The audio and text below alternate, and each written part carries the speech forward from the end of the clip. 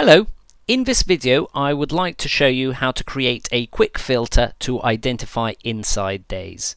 Inside days are days where the current high is lower than the previous day's high and the current low is higher than the previous day's low. It is the opposite to a outside day.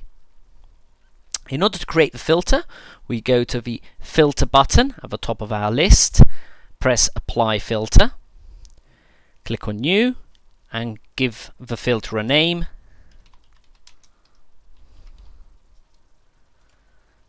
and then click on OK. We need to add two criteria. The first checks and compares the two highs and the next one the two lows. So we go to add criteria, go under the price tab, scroll at the bottom and select high uh, we want to use the current intraday high, i.e. today's high. And we press combine items. Now we want the latest high to be less than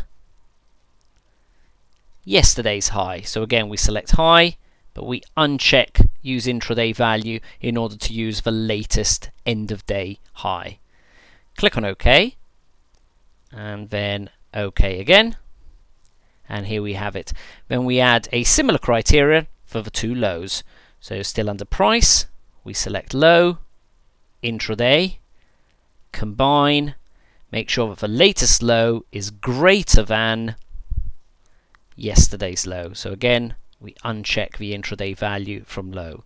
You can go back further in time uh, by simply looking at low on date. That will allow you to look at the low price for the day before, day before that, and so on into the past. We click on OK, OK again, and then hit apply so the filter can then calculate. And here they are, the list within the FTSE 100 of the shares that uh, currently are displaying a inside uh, bar or inside candlestick compared to yesterday.